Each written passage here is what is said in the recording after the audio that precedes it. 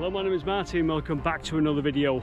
Well, I'm stood in the middle of a wasteland. Four years ago I came here and I did a video about the old derelict Hartford Mill in Chadderton in Oldham.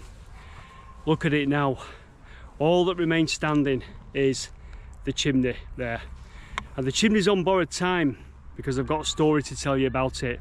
Well first let's go over towards it. Yeah, I came here quite a few times. First time with Lewis when the mill was complete and we went inside and had a look round. And I came back during a couple of various stages of its demolition. It was left with two towers standing and that they were left standing because there were bats up in the top of them roosting so that delayed the demolition and I never actually caught the towers going down. The chimney I'm going to try and catch if I can. Um, it's disorientating being here because where there once stood a mill or even parts of a mill I'm now stood in the middle of a just a wasteland they've flattened the place completely so this week's video is set in Chadderton in Oldham and there you go there it's its relationship to Manchester city centre and we're going to have a bit of a reminisce about the old Hartford cotton mill that used to stand in the area and we'll capture the final few months of the huge chimney that was attached to the mill and ultimately its destruction by dynamite. So in this Britain from above picture, which is around about the 1930s, 1940s, you'll see that row of houses there uh, just in front. Well, the, the place is surrounded by terraced houses, now long since gone, but you'll see that row of houses there. Well, Roy managed to catch them just as they were being demolished. I came in this first about 2018. Uh, Roy must have come a little bit earlier and he caught those houses when they were boarded up. Uh, so no doubt they saw some life. And uh, I think being from the area back in the 70s and the 80s, we used to drive down that way. And I think I do remember looking at the mill when I was a kid, back in the, like I say, 70s, 80s. So the chimney's actually on borrowed time. It's the 2nd of April today. And technically the chimney should be on its side, flattened, because it was due to be demolished this morning.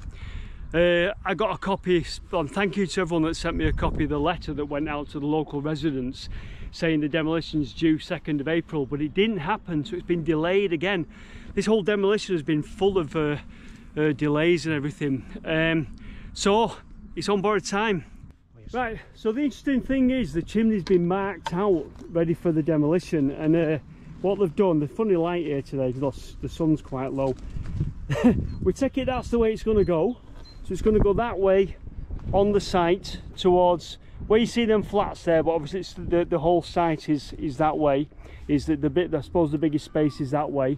So they've marked it there and then the holes for where they're going to put the dynamite have been marked as well uh, there. Now the interesting thing that Roy spotted was you see how there's one there and then it goes in like that. So it kind of like goes in like that and then they've got all these holes here marked for dynamite. And then a cut in there. Now whether they're going to cut out there and go inside and continue the drilling from the inside i'm not sure but there's going to be some flues underneath there isn't there? And then you'll see here the sun will shine now but you'll see here uh, more holes for more dynamite. See it?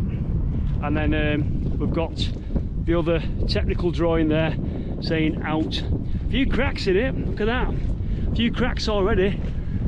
Bloody hell right through the brick there as well. So uh, looks a bit not so good does it? But uh, there you go lightning conductors sat there.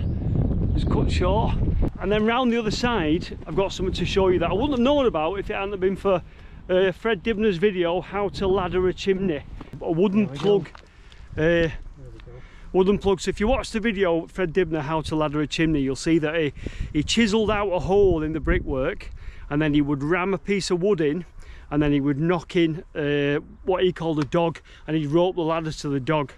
Then goes the plug wood which as you can see it don't go in very far you know but it's quite far enough you know it's quite safe um, and that's what's termed as a dog uh, then I'm going to knock in, in now, uh, knocking in now. I don't know whether Fred ever came here. I'm not saying it's Fred. That method would have probably been used widely by other um, uh, steeplejacks but here take a look at this there you go bit of plug wood there and then you can see there another one there where it's been filled and another one there so that would have been the way they laddered it directly up to the top up there. And where there was plug wood to maintain it, there's now going to be a hole for dynamite. For a while we wondered whether we were going to bring a nibbler on to nibble it down and bring it down with one of those high reaches, but clearly looking at those marks, they're going to uh, dynamite it. So yeah, it's been a very long, protracted, drawn out process, the demolition of this mill. Like I say, I was here in 2018 filming it when it was derelict. I think the demolition of the mill started 2019, and of course, inevitably, as work went on, it hit COVID, so that stopped everything. Then it um, things after a long pause, I think it was well over a year, things uh, got underway again. Then there was found to be bats in one of the uh, one of the stair towers, I think. So that um, that delayed everything again. And finally, they brought the two towers to two remaining towers down. And as always with these projects, the the chimney is the last thing to be brought down. 2nd of April 2023 was the initial date given to all the residents in the area, but uh, I think it coincided with uh, Ramadan, so the residents asked for it to be delayed. And uh, then there was talk. Think I was chatting to someone that knew someone that worked on the site. There was then talk about getting one of these big nibbling machines with high reach nibblers to bring it down, and then um, that was the last I heard. And then the next I heard was given the date of um, October and they were going to blast it with dynamite.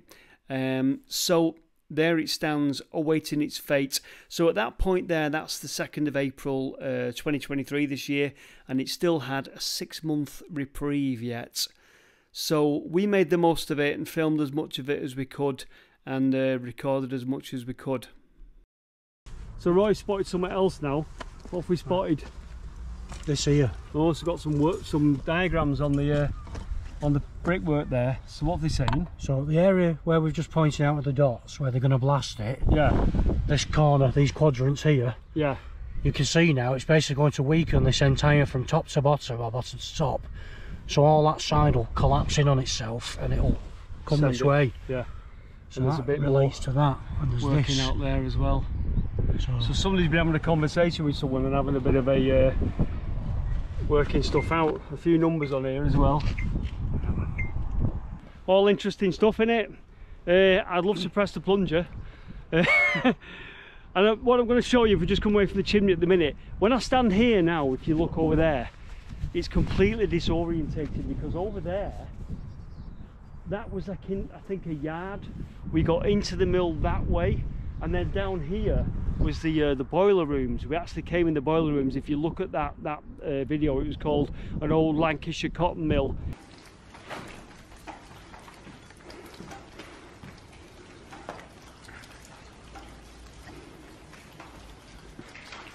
Okay, so I think we've found the boiler house, and these would have been the old Lancashire boilers.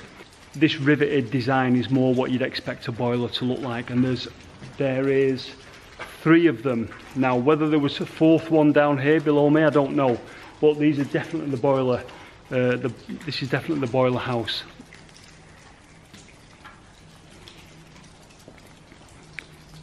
And the way I look now, they've completely gone. So we were down there, and there was a big tank down there somewhere. Oh yeah, have they dug them out? No, no, they've covered it over. Coming up, yeah. So the boiler rooms were down here, and I was down here. I remember coming up here and standing. I stood by the chimney there. I remember giving you a bit of a talk about Fred's contraption to see when the chimney was listing over. He used a, a, bar, didn't he, in the brickwork. So very disorientating now the mill's gone. But yeah, just where there was boiler rooms is now just a big hole.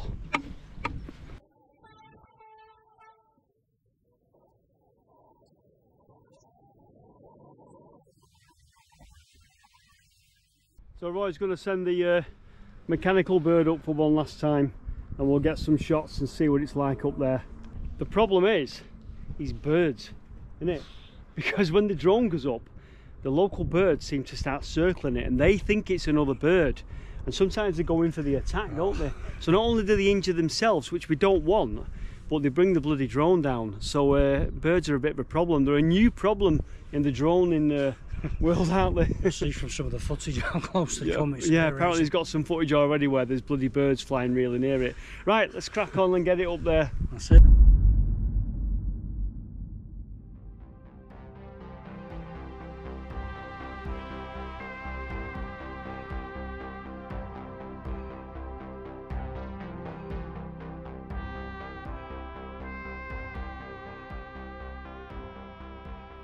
So, Hartford Mill was built in 1907 and it was designed by architect Frederick Whitaker Dixon, who built or designed quite a few mills in the Oldham area.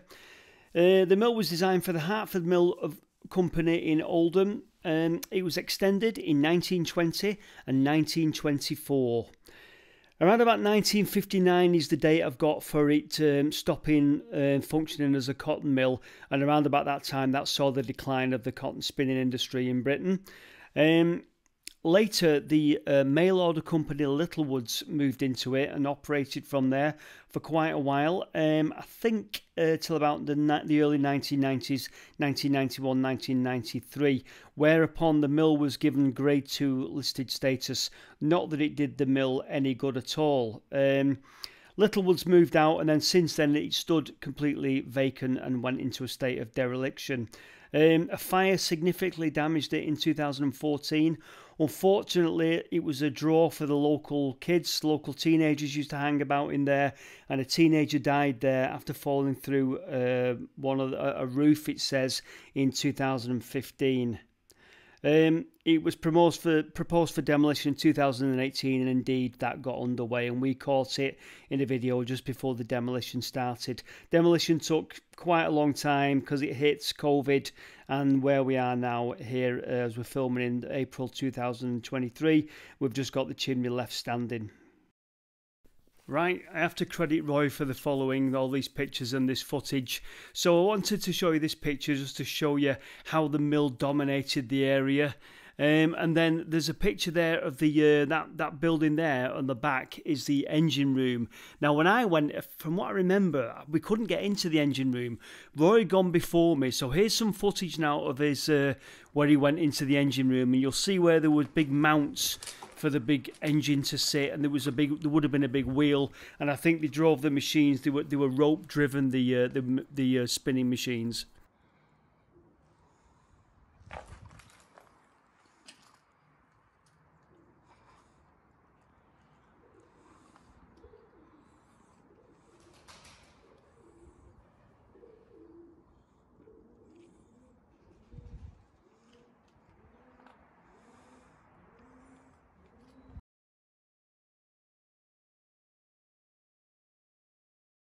And then would you look at this? Look at the beautiful detail on these tiles. I mean, we talk about Victorian workmanship. I mean, it lasted into the Edwardian era. This mill would have been Edwardian. Look at the green tiles there. That was what was on the wall in the engine room. I, would love to have got one of those, to be honest with you. I really would have. But look at the beautiful, beautiful detail there.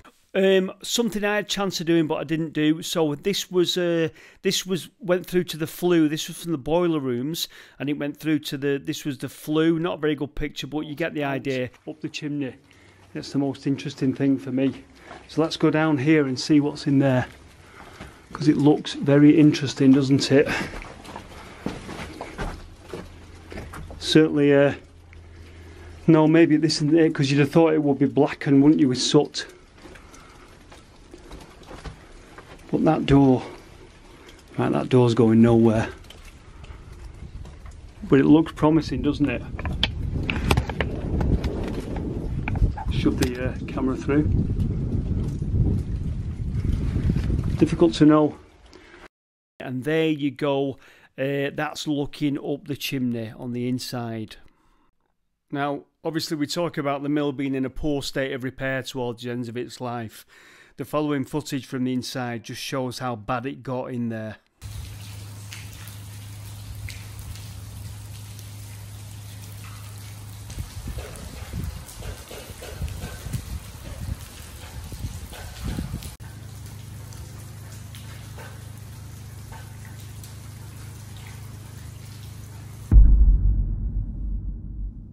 It was a grey, rainy day on the 1st of October 2023. Demolition was scheduled for 10 o'clock. The rain came and went, and so did the demolition time. 10 o'clock, 10.15, 10.30. Each time we tried to get the drone up and we were panicking over trying to capture it and trying to film it. As much as we didn't want to see the chimney go, we wanted to capture its last moments. If it had gone at 10.30, it was throwing it down. In that really, really heavy rain, we had to bring the drone down and we would have had no choice but to have missed it. Fortunately, it got rescheduled for 10:45. We stood with the crowd of people watching and waited and waited and finally at 10:47, 1st of October 2023, all those years of history and all the men and women that toiled in the mill and that built the mill, all that history came crashing to the ground.